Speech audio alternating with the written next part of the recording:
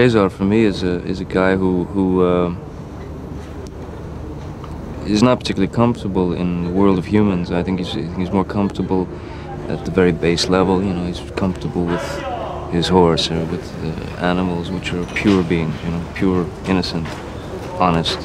He's a pretty stoic figure. He's one of those guys who who uh, does his best to keep his emotions in check. You know, at all times, not to expose himself part of the job really is to express an emotion or a thought or uh, with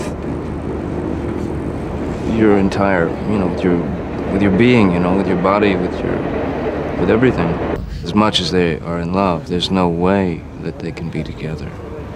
Even if there wasn't war even if there wasn't you know these circumstances there's no way that they can be together not in this time it's it's the Romeo and Juliet, you know. It's the the Montagues and the Capulets.